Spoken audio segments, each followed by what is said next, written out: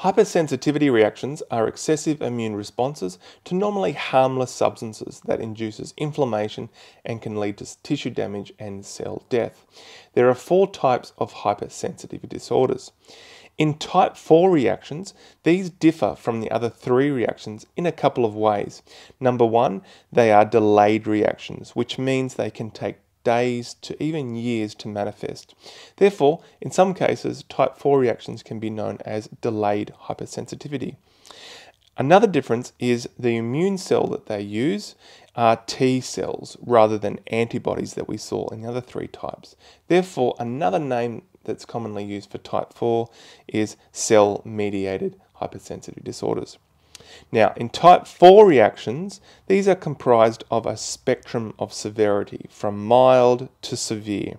So, here I've broken type 4 reactions into two categories delayed reactions, which usually just involve T helper cells, and cytotoxic reactions, which use both T helper cells and cytotoxic T cells. Now, let's start with a delayed reaction. This usually involves the skin only and where we have the antigen that enters. Some examples of the antigens can be latex, can be metals like nickel, or certain cosmetics. When the antigen enters the skin, it is taken up by antigen presenting cells such as a dendritic cell, which then engulfs it. Here it then takes it back to a neighbouring lymph node, which then sensitizes and activates a T helper cell, which then comes to the site.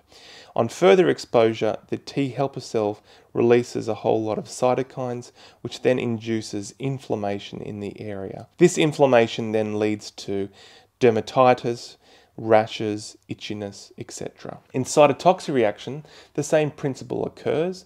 The antigen is engulfed by an antigen presenting cell and presented to a T helper cell, which then activates a cytotoxic T cell. Now, where the cell with the antigen, in some cases it could be a cancer cell or a virally infected cell, is then destroyed by the cytotoxic T cell, which is a good thing. But in some cases, certain antigens, which is of your own tissue, in one case, myelin can be seen as foreign, therefore, the same process occurs and cells that have myelin destroyed.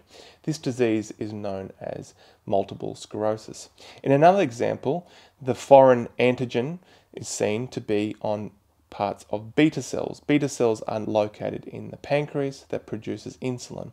So, in the same process, beta cells are destroyed in the pancreas, leads to a disease known as type 1 diabetes.